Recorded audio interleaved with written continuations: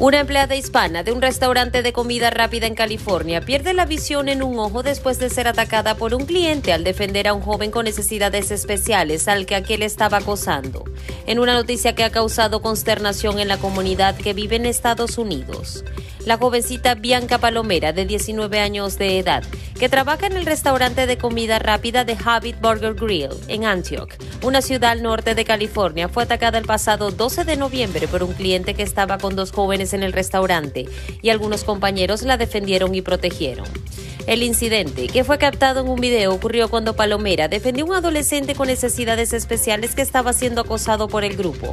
La joven dijo a la televisora ABC que la gerente del restaurante le dijo que le pidiera al grupo de jóvenes que se fuera del restaurante.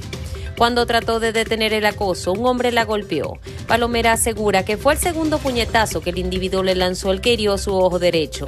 Aunque la joven fue operada de emergencia, los médicos le dijeron recientemente que perderá la visión del ojo, donde recibió el golpe más fuerte. Se informó sobre la noticia de que la empleada hispana perdía su ojo.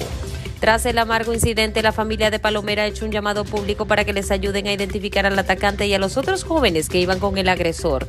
Esto con el fin de que se haga justicia y se deslinden las responsabilidades correspondientes por los daños ocasionados a su órgano.